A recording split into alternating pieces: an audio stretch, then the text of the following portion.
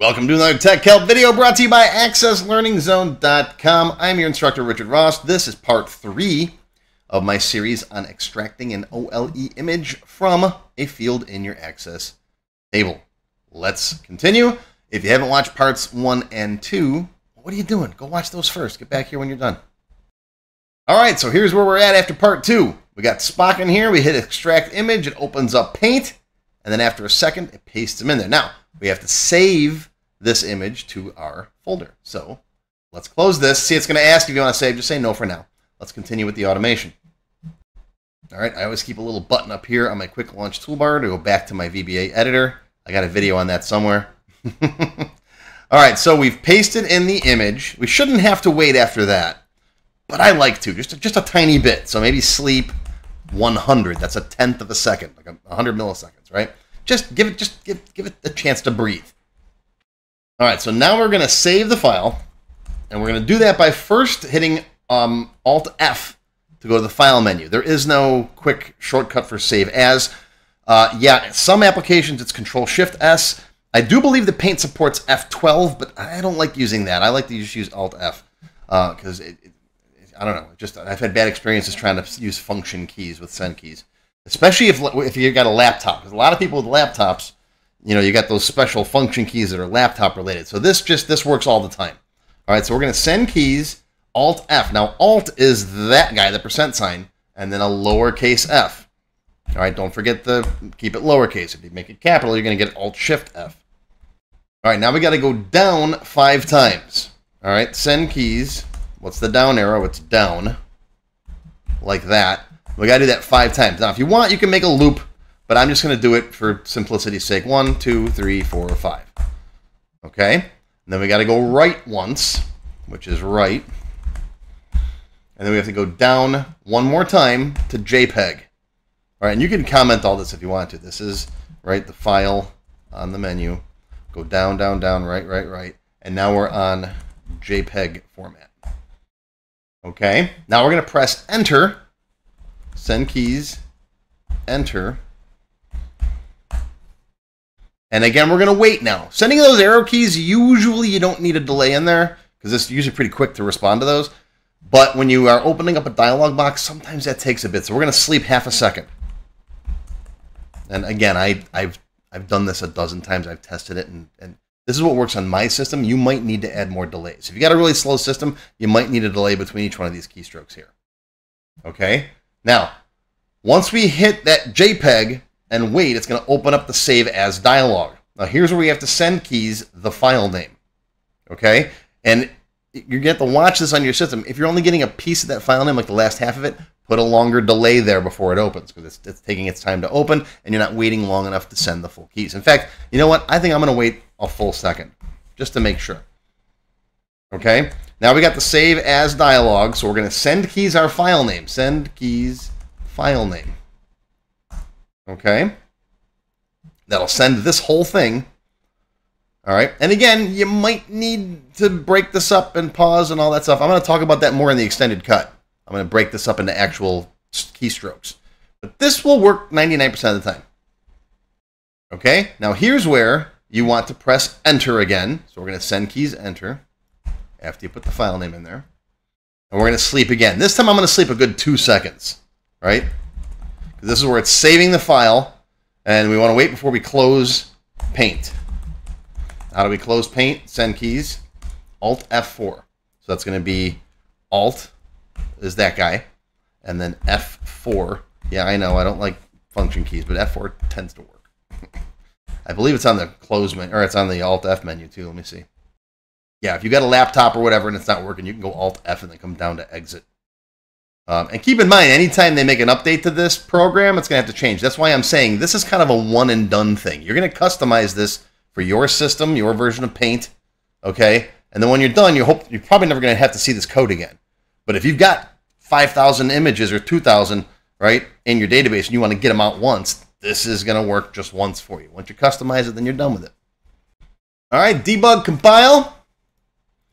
Let's come back out here. Gonna, i always like to close my forms and reopen them before I run any code. That's just me. All right, let's try extracting it. You ready? Click, and let's see what happens. All right, it's doing some thing here. What's going on? There's that. You okay? See, all right. So we need a bit more of a delay. If you see weird things happen like this, it's it tried doing too much. We don't have any, as, as much delay as we need between these keystrokes. So here's what I'm going to do. Here's what I like to do. Instead of send, instead of using raw send keys, I'm going to make my own send keys so it doesn't just they don't all bunch up on each other. Here's what I like to do. I'm going to come down here. I'm going to create my own subroutine. All right, so private, private sub. Come on, I can't type today. My send keys. Okay, we're going to send it what we're going to send. So S as a string. Okay, and in here, we're going to send keys, whatever was sent in, comma true, make sure it waits. We're going to put a brief delay in here between each key. So I'm going to put a sleep, maybe 100 milliseconds is good, and then a do events that, that frees up the processor to keep processing things. Okay, I got a whole separate video on do events if you want to go watch that. So now instead of using send keys everywhere, we're going to use my send keys. I have to do this once in a while. So starting from the top, we're going to replace every send keys with my send keys. All right, and if you if you think you need those longer delays in there, you can leave those there too. You you can't go too wrong with having long delays. It's just going to take longer for the process to run. But if you want to set this and forget it, right? If you want to just click go and then go have lunch and come back, which is how long you're going to probably have to wait for it to do 2,000 images, that's what you want. You want it to be sure of itself and wait between each keystroke. All right, so now my send keys, it's going to send that key. Okay, it's going to put a brief pause in there, do events, free up the processor, and then return back where it was. This usually has a better success of working. Let's debug compile. Come back out here. Let's close you down. Open it back up again. Let's give it another try. Click. Let's see. You should see it actually happen. Yep, see there? We can actually see it working now. All right, that's much, much better. All right, so it seems like it worked. Let's go check our folder. Where's the folder now? There it is. Ah, there's pick one. And look, it's, it's an image. It extracted it perfectly. I think I'm going to put a little bit more of a delay in there. Again, this you'll have to adjust this based on the speed of your computer. I'm going to go 300 just so we can see it working better. All right, I would rather, like I said, err on the side of waiting too long. All right, extract image. Okay, good, good, good. You can see it's actually slower with the keystrokes now. Okay. All right. And let's, ooh, where's my folder? There it is. All right, let's try another one. Okay, ready for Kirk. Go. Okay, there's Kirk. Save as. Good. Send those keys there. Good. You probably put less of a delay in the save. All right. Maybe throw a beep in here too so we know when each one's done. Right? Beep. Let's go check the folder. And there we go. There's Kirk. All right. So we're on the way now to be able to extract all of these. Now, the only piece that's missing is a loop, right? We want a loop, start from here, and then when this one's done, go to the next one. When this one's done, go to the next one, and go through all the images, go through all the records that actually have a picture in it. Okay? I've shown you 99% of what you need to do to be able to do that. We're going to finish it in the extended cut for the members. Silver members and up get access to all of my extended cut videos. What we're going to do is make a loop. We're going to start with record one. We're going to just go down all the records. If it finds an image, it's going to extract it and then save it and then move on to the next one and continue until we're done. And then when you go to lunch and you come back, all your images will be in a folder. And, and, oh, I forgot one thing. And we'll save that file name in the customer table in a field so that now we've extracted the image, right? Now we've got the file name where that image is in the table. We can point to it like a normal picture, like I show in the images video. And then you can delete that OLE object field. You don't need it anymore right? And then compact your database, you can get all your space back. It's going to be a wonderful day. Cats will be marrying dogs. It'll be raining fire from the sky. But, but at least our database will work. So there you go. if you like learning with me, if you enjoy this stuff, if you want to learn more, I got tons and tons of developer lessons. I'm actually working on Developer 45 right now. Well, not not right now, but you know, I'm in the middle of it, kind of. Uh, but come to my website, check it out. Tons of stuff. Uh, I teach stuff in the order you should learn it, unlike in my tech help videos where I kind of jump around because tech help videos are really more just to solve a specific problem. Whereas in my developer lessons, we teach things in the right order. Right? We're to learn a little about this, a little about that, a little about this, and every lesson builds on the one before it. So come to my website, check it out. There's a link right there. But that's it. That's part three. That's the end of this series for now. I always sometimes I come back and later and add part four. Uh, but that's going to be your tech help video for today. I hope you learned something. Live long and prosper, my friends. I'll see you next time. If you enjoyed this video, please give me a thumbs up and post any comments you may have below. I do try to read and answer all of them as soon as I can. Make sure you subscribe to my channel, which is completely free. Click the bell icon and select all to receive notifications when new videos are posted. Want to learn more? Click the show more link below the video to find additional resources and links. YouTube does a pretty good job of hiding it. It's right down there. See this part of the description here, right? The name, the video's up here. There's a little show more down there, right down the bottom. It's kind of hard to find. But once you click on that, you'll see a list of other videos, additional information related to the current topic, free lessons, and lots more. And YouTube no longer sends out email notifications when new videos are posted like they used to do. But if you'd like to get an email every time I post a new video, click on the link to join my mailing list. And you can pick how frequently to get emails from me, either as they happen, daily, weekly, or monthly. Now, if you'd like to become a paid member of my channel and receive all kinds of awesome perks, click on the join button. You'll see a list of all the different membership levels that are available, each with its own special perks, including my extended cut videos access to my code vault, lots of VBA source code in there, template downloads, and lots more. I'll talk more about these perks at the end of the video. Even if you don't want to commit to becoming a paid member and you'd like to help support my work, please feel free to click on the tip jar link. Your patronage is greatly appreciated and will help keep these free videos coming. I got some puppies to feed. But don't worry, no matter what, these free tech help videos are going to keep coming. As long as you keep watching them, I'll keep making more, and they'll always be free. Now, if you really want to learn Access and you haven't tried my free Access Level 1 course, check it out now. It covers all the basics of Microsoft Access, including building forms, queries, reports, and more. It's over four hours long. You can find it on my website or on my YouTube channel.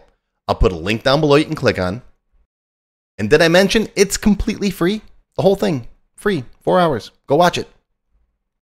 And okay, okay, a lot of you have told me that you don't have time to sit through a four hour course. So I do now have a quicker Microsoft Access for Beginners video that covers all the basics faster in about 30 minutes. And no, I didn't just put the video on fast forward, but I'll put a link to this down below as well. Now, if you like level one, level two is just a dollar. That's it, one dollar. And that's another whole like 90 minute course. Level 2 is also free for paid members of any level, including supporters. So if you're a member, go watch Level 2. It's free. Okay, want to get your question answered in a video just like this one? Visit my tech help page and send me your question there. Members get priority, of course. While I do try to read and respond to all of the comments posted below in the comments section, I only have time to go through them briefly a couple of times a month, and sometimes I get thousands of them. So send me your question here on the Tech Help page, and you'll have a better chance of getting it answered. And while you're on my website, be sure to stop by my Access forum. We've got lots of lively conversations about Microsoft Access and other topics. I have a fantastic group of moderators who help me answer questions. Shout out to Alex, Kevin, Scott, Adam, John, Dan, Juan, and everybody else who helps out on the site. I appreciate everything you do. I couldn't do it without you. Be sure to follow my blog, find me on Twitter, and of course on YouTube. Yeah, I'm on Facebook too, but I don't like Facebook. Don't get me started. Now, let's talk more about those member perks if you do decide to join as a paid member. There are different levels silver, gold, platinum, and diamond.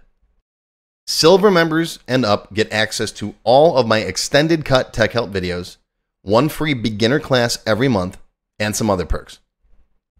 Gold members get all the previous perks plus access to download the sample databases that I build in my tech help videos, plus access to my code vault where I keep tons of different functions that I use, the code that I build in most of the videos. You'll also get higher priority if you do submit any tech help questions. Now, answers are never guaranteed, but you do go higher in the list for me to read them. And if I like your question, you got a good chance of it being answered. You'll also get one free expert level class each month after you've finished the beginner series. Platinum members get all the previous perks plus even higher priority for tech help questions. You get access to all of my full beginner level courses for every subject. And I cover lots of different subjects like Word, Excel, VBA, ASP, lots of different stuff, not just Access. These are the full length courses found on my website. You get all the beginner ones. In addition, once you finish the expert classes, you get one free developer class per month. So lots of training. And finally, you can also become a diamond sponsor. You'll have your name or your company name listed on a sponsors page that will be shown on each video as long as you're a sponsor. You'll get a shout out in the video and a link to your website or product in the text below the video and on my website. So that's it. Once again, my name is Richard Rost. Thank you for watching this video brought to you by AccessLearningZone.com. I hope you enjoyed. I hope you learned something today. Live long and prosper, my friends. I'll see you again soon.